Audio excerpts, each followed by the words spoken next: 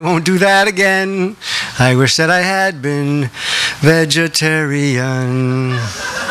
Well, for most of my adult life, I was vegetarian. And during all that time, I still had a soft spot in my gullet for fish. And when I was a waiter at a restaurant that was known for its seafood, I, a, a dish that I commonly served was a stuffed flounder. There was two fillets wrapped around crab meat, this delicious sauce over it. And a lot of my customers only ate one of them. And so I would return with this untouched gourmet loot, which I would stash on a shelf to enjoy later. And my coworkers couldn't help but notice the scavenging behavior, and soon I was dubbed Seagull. And whenever an untouched flounder was seen coming back in the kitchen, you could hear the recycling cry, Save it for Seagull!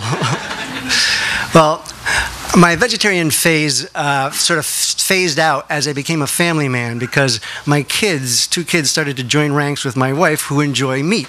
Now, I don't want to be the odd man out in my own house, so I, I joined their ranks. And, but I know way too much about how conventional meat is raised. So I have this omnivore's dilemma.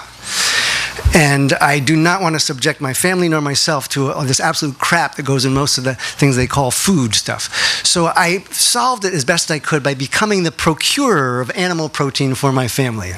And whenever possible, I try to get it directly from a farmer I trust.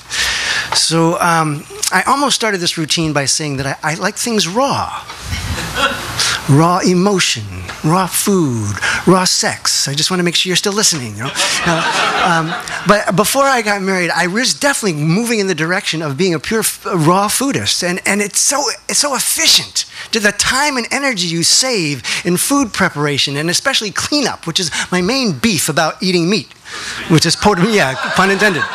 Yep.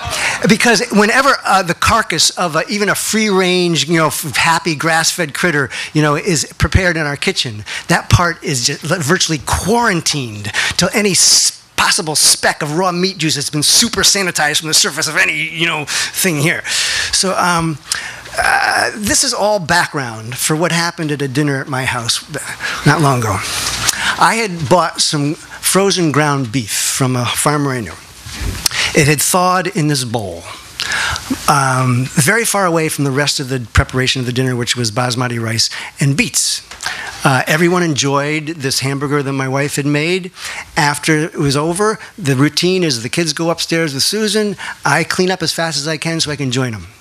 And cleanup was pretty easy that night because there was clean plate club all around, no leftovers whatsoever.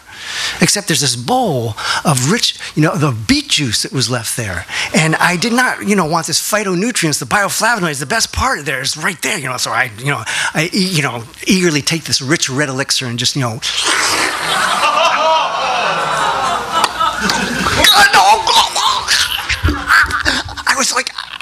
believe it. I just chugged the whole thing down. And I was like in a panic. I was like, um, and I run upstairs and I'm trying to discreetly ask my wife, you know, should I induce vomiting? Should I induce vomiting? And my kids catch on and, you know, they get wind of this and soon they're asking, should daddy puke? Should daddy puke?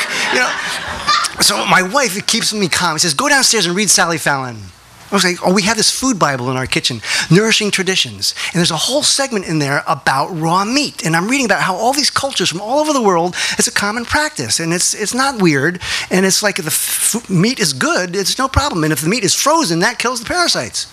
So I'm thinking, okay, I'm just going to calm myself down here, you know? I'm just going to check in to see how I feel. I'm feeling okay.